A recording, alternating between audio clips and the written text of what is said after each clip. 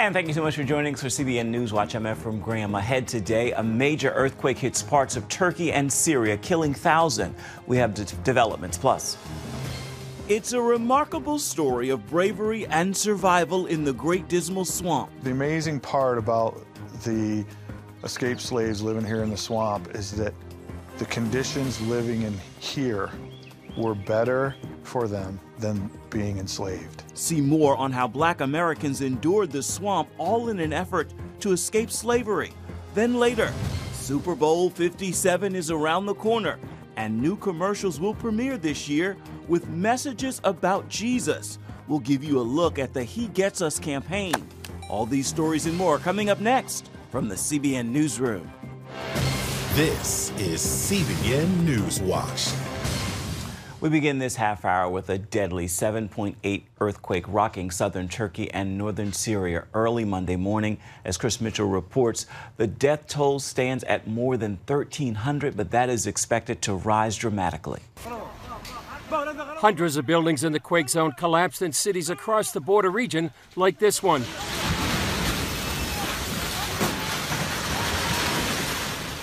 And scenes like this showed the devastation that hit the area.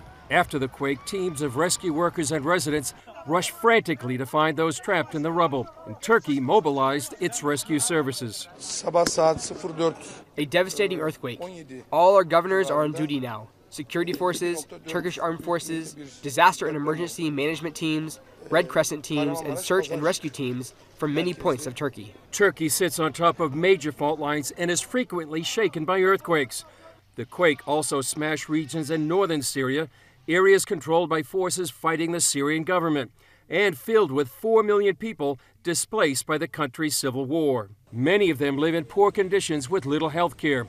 Rescue workers said hospitals were filled, and the Syrian civil defense said Syria was in a state of catastrophe with entire neighborhoods leveled. More than 40 nations pledged help at the request of Turkey. Israeli Prime Minister Netanyahu said they would immediately provide medical and search and rescue teams, some of the best in the world. Israel's Magen search and rescue team will leave today to the quake region.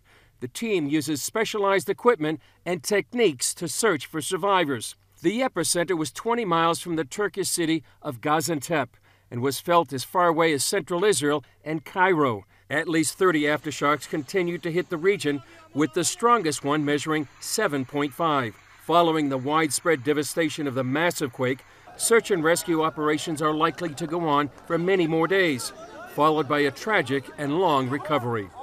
Chris Mitchell, CBN News, Jerusalem. China is accusing the United States of indiscriminate use of force after shooting down a suspected Chinese balloon off the Carolina coast over the weekend. Now, the Pentagon says there have been previous incursions of Chinese balloons over U.S. territory. Dale Hurd is on this story. China today accused the United States of indiscriminate use of force after a U.S. military jet shot down a suspected Chinese spy balloon Saturday. Critics are asking what took the White House and the Pentagon so long to do it. And they argue the U.S. shot down the balloon only after it had already flown over sensitive military sites across North America. A single F 22 fired an air to air missile roughly six nautical miles off the South Carolina coast, about 60,000 feet in the air. Rank one, uh, last one. That is a. We have eyes on the balloon falling.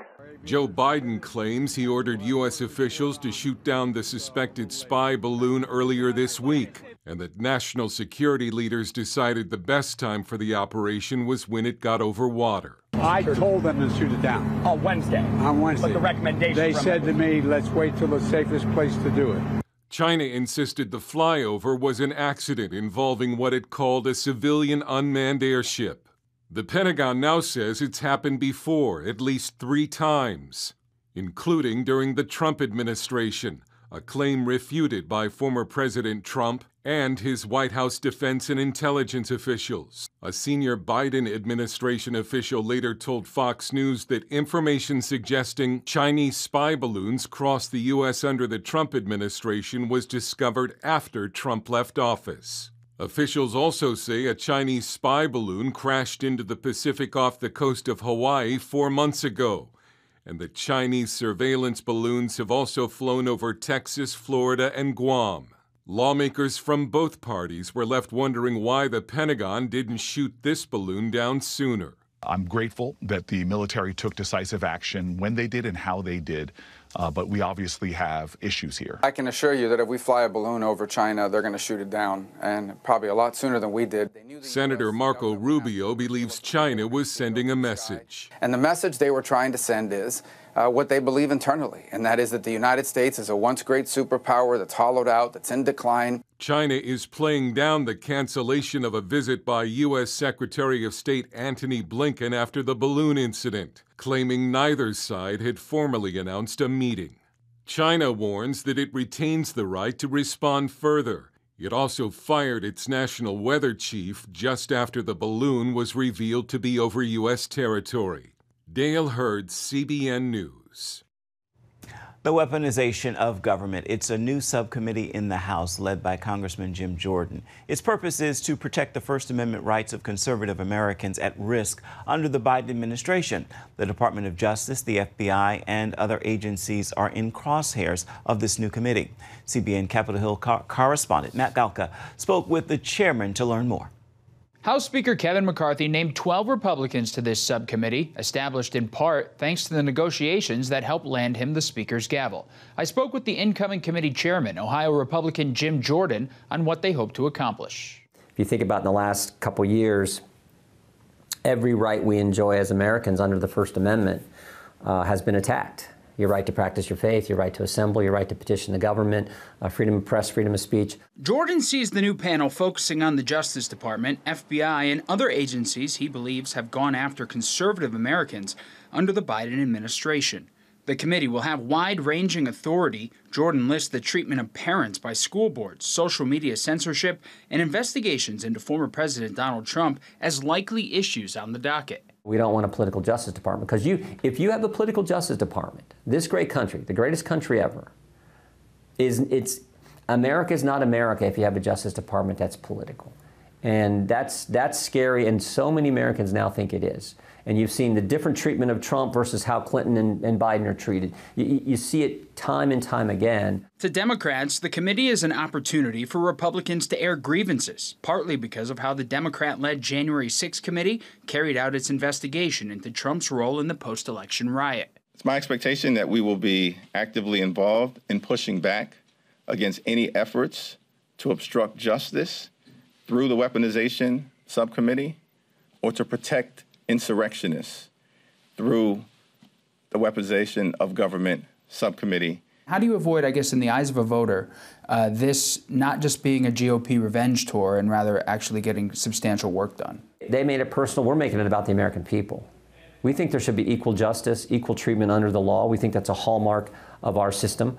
Um, we think you should not not favor one political persuasion over the other. We think that that you uh, you, you, know when when you have pro-life uh, activists uh, exercising their constitutional right, uh, they should be given the same treatment as um, as as anyone on on the left. Uh, but we don't see that.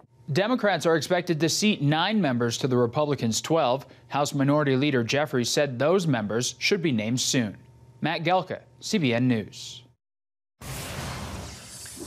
Coming up, poisonous snakes, biting insects, flies, and thick briars. The Dismal Swamp was once a refuge for 50,000 runaway slaves. See the footprints of those runaways left behind. Stay with us.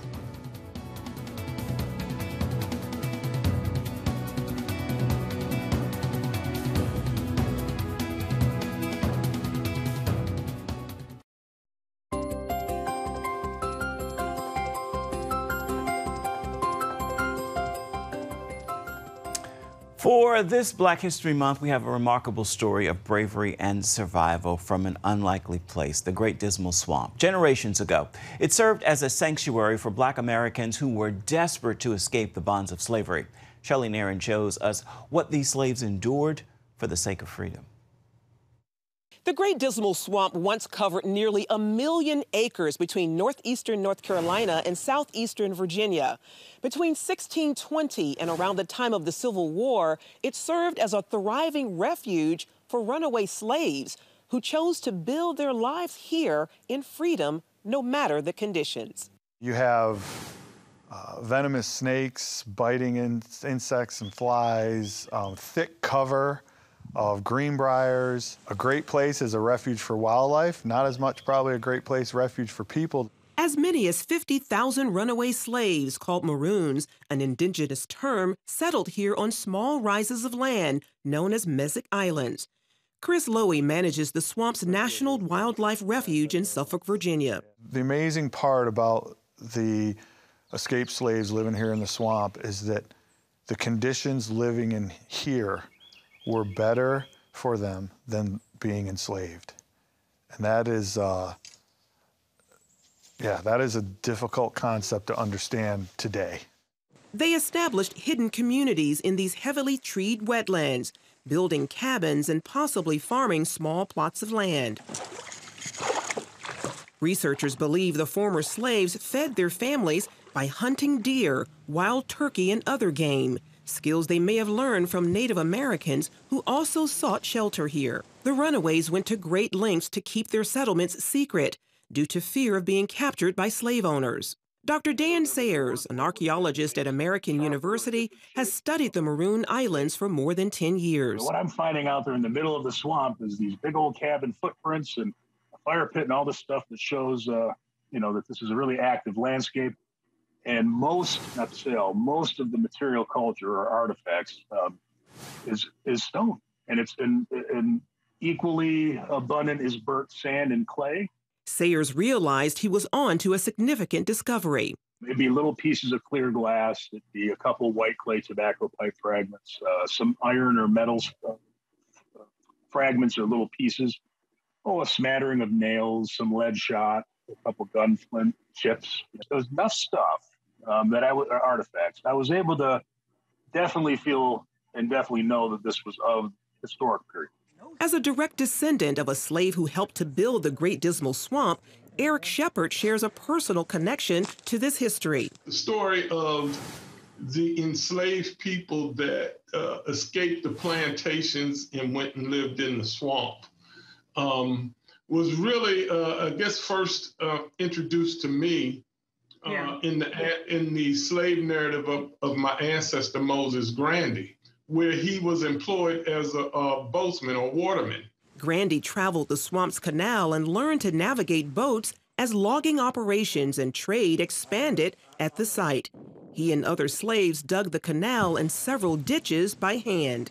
As the swamp is today, yes, slave labor, um, those people have a permanent um, mark on the swamp as it is today. After arranging to buy his freedom, Grandy dictated his story, sharing about life as a slave and working in the swamp, never mentioning his interactions with escaped slaves living deep in the swamp. He had to still uh, be mindful of when he shared his story uh, that it, it, was you had to protect the people. It was a certain amount of secrecy. While many made the swamp their home, others saw it as just a stop on their journey north as part of the Underground Railroad. Dismal Swamp was a refuge. It was a, a haven for the Underground Railroad activity. But can you imagine down in Louisiana, if you get to the Dismal Swamp, you're almost home free. In 2004, the refuge was designated an important landmark on the National Underground Railroad network to freedom. Freedom Maroons in the swamp preferred to living in captivity. On the one hand, it tells us uh, just how horrible slavery was, right? And really, let's not forget the racism and the and the white supremacy part of that. When slavery ended in 1863, residents were free to leave the shadows of the swamp, moving to surrounding communities. A time Shepard compares to the biblical account of Israel's deliverance from bondage. How did God deliver them out who can't explain it? It's only one explanation the same God yesterday, today, and forever. Charlene Aaron, CBN News. Still ahead, spreading the gospel during this year's Super Bowl, one campaign is making it happen in a big way. Find out more next.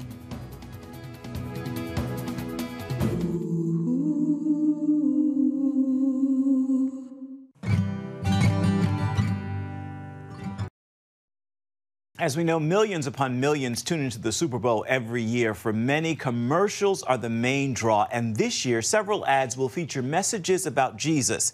In a campaign that's also been seen on billboards, the message is Jesus Gets Us.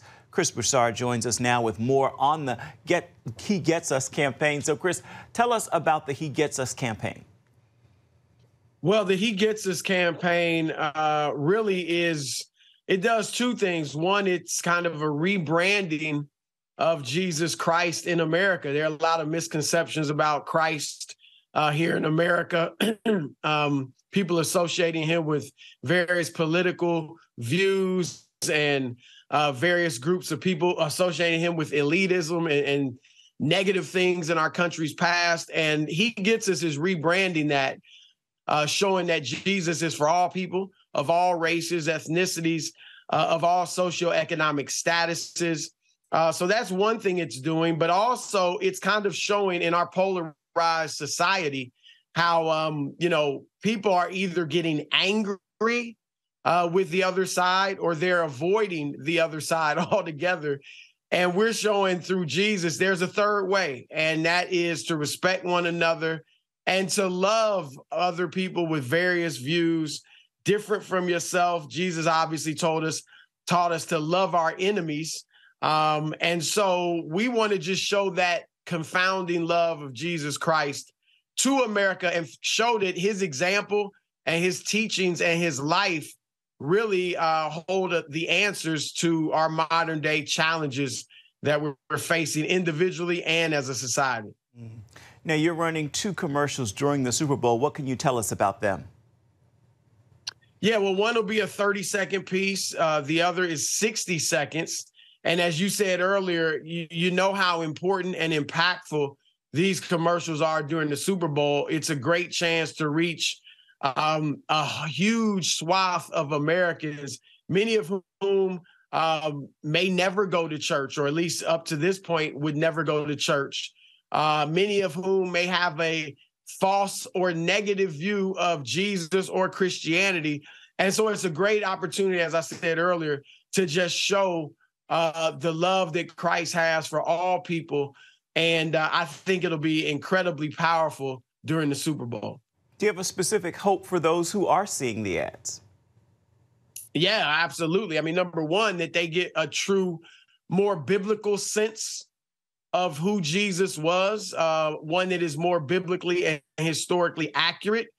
Uh, and uh, of course, ultimately, you will want people to find saving faith in the Lord Jesus Christ. Um, but also just to take the lessons, the, the brief, quick lessons that are shared in the commercials and apply that to your daily life and how you treat other people, even those who have differing views than yourself. Chris Broussard with the He Gets Us campaign. Thank you so much for your time. You're welcome.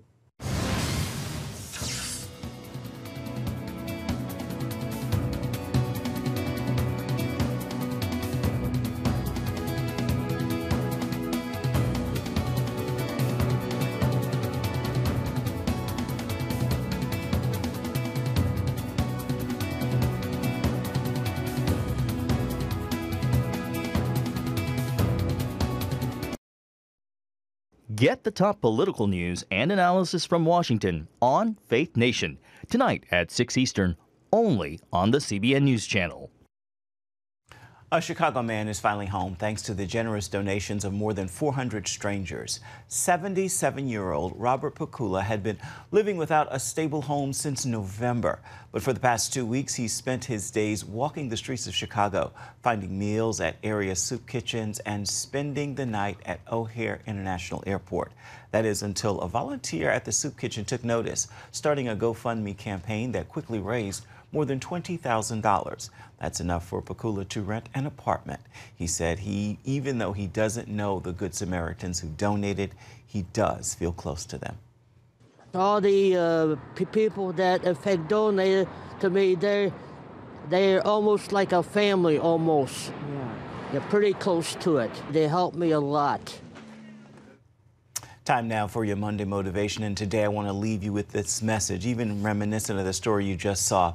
God is calling on you and me to bring his kingdom to earth. Thy kingdom done, come, thy will be done on earth as it is in heaven. It's the Lord's Prayer, and we must position ourselves to make it possible. May his will be done through you and me wherever we are the boardroom, the schoolhouse, the church, your home, his kingdom, his will on earth as it is in heaven. That is going to do it for this edition of CBN News Watch. I remind you, you can always find more of our programs on the CBN News channel at any time. You can also find them online. That is cbnnews.com. We would love to know what you think about the stories you've seen here today or any day. You can email us. That address is right there at the bottom of your screen. It's newswatch at cbn.com. And of course, you can always reach out and touch us on Facebook, Twitter, and Instagram. We certainly would love to hear from you. I encourage you to make today a marvelous Monday and be sure to have yourself a wonderful rest of the week on purpose and in purpose. Look forward to seeing you right back here, same time tomorrow. Goodbye and God bless.